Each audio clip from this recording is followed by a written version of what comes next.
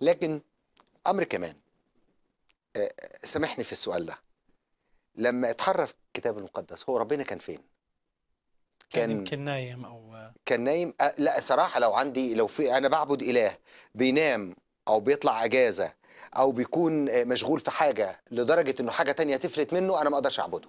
طبعا وضعيف أنا بدافع عنه أنا بحامي عنه أنا بتهم الآخرين عشان أحمي نفسي أو أحمي ديني أو أحمي مبدئي. فهذا كله يعني بينسب ضعف إلى الله. تمام. بيحط الله كإله ليه صفات بشرية مش مش مش صفات صالحة مطلقة. مم. فعلشان كده هو لما اتحرف الكتاب المقدس الله كان موجود إذا كان اتحرف. فما أقدرش أقول إن الله كان كان مشغول أو مش واخد باله أو نايم أو في رحلة. ده لا يليق بالله. لا يليق بالله. دي إهانة لله الحقيقة.